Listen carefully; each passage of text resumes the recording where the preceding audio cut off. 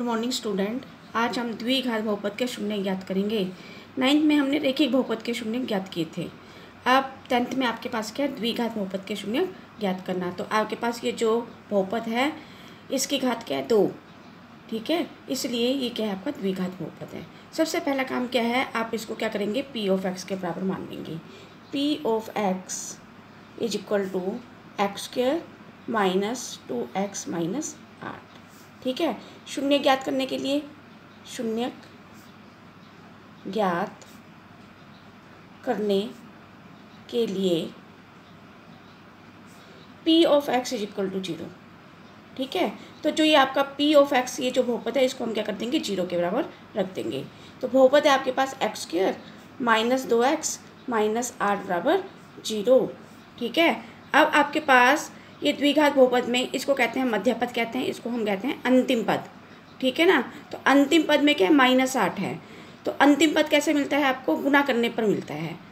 ठीक है? और मध्य पद कैसे मिलता है आपको? जोड़ने या घटाने में मिलता है। ठीक है ना? तो अब माइनस का साइन है। गुना करते हुए माइनस का साइन कब होता है? जब दोनों क्या होंगे? अलग अलग साइन होंगे। ठीक है? एक प्लस का होगा, एक माइनस होगा। बड़ा कौन सा होगा? ये बीच वाला साइन डिसाइड करेगा। तो बीच में क्या आपका माइनस का साइन है? तो माइनस का साइन क्या होगा? आपका बड़ा होगा। तो यहाँ पे गुना करने पर माइनस आठ चाहिए और जोड़ने और घटाने पर आपको क्या चाहिए? माइनस दो चाहिए। तो आपके पास माइनस का, मैं यहाँ करके, माइनस का चार प्लस का दो। क्या आएगा आपके पास? माइनस दो। बीच में क्या चाहिए था? आपको माइनस दो चाहिए था। अब माइनस चार गुना प्लस का दो। क्या आ गया आपके पास? माइनस आठ। गया। तो गुना करने पर आपको माइनस आठ मिल गया और घटाने पर आपको माइनस दो मिल गया। ठीक है ना? जो अंतिम पद है, वो कैसे मिलता है आपको? गुना करने पर मिलता है। ठीक है? तो गुना करते हुए माइनस का साइन कब आता है? जब दोनों अलग अलग चिन्ह होंगे। एक प्लस का होगा, एक माइनस का होगा। ठीक है? अब बड़ा कौन सा होगा? कौन डिसाइड करेगा? बीच वाला साइन डिसाइड करेगा। तो बीच में क्या आपका? माइनस का साइन है। तो माइनस वाला क्या होगा, बड़ा होगा। तो देखिए यहाँ पे माइनस चार प्लस दो तो माइनस वाला हमने क्या लिया है? बड़ा लिया है। ठीक है? तो इसको लिख देंगे हम एक्स स्क्र और माइनस दो एक्स को क्या लिखेंगे? माइनस चार एक्स प्लस दो एक्स माइनस आठ बराबर ज़ीरो। ये आपका रफ काम था। अब इन दोनों में से क्या कॉमन आ रहा है आपके पास?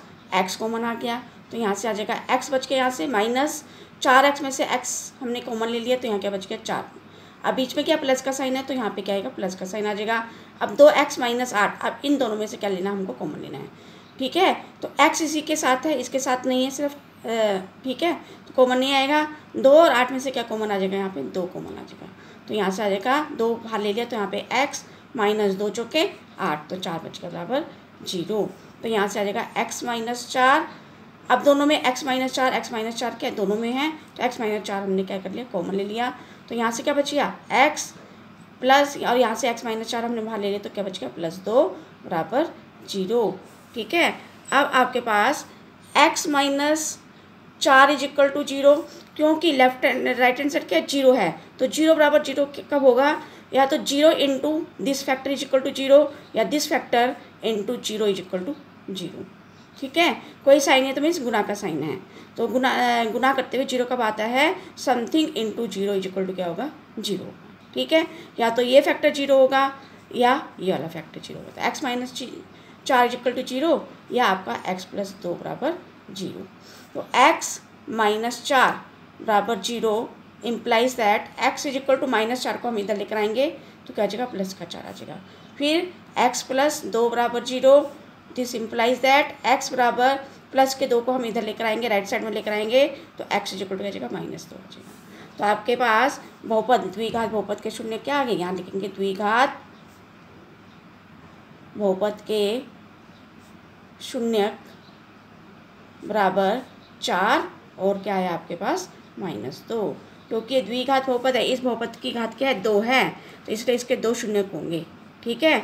अगर पी घात बहुपद होगा मतलब बहुपद की घात अगर तीन है तो उसके कितने शून्य होंगे? आपके तीन होंगे, क्योंकि द्विघात बहुपद है तो इसलिए इसके शून्य क्या होंगे? दो होंगे, और जो कि क्या है? चार और माइनस दो हैं।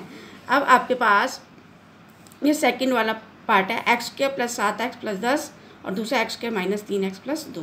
तो इन दोनों के भी आपने क्या करना है? शून्य ज्ञात करने हैं। जैसे पहले वाला क्वेश्चन क्या है, उसी तरह से इसको भी करना है।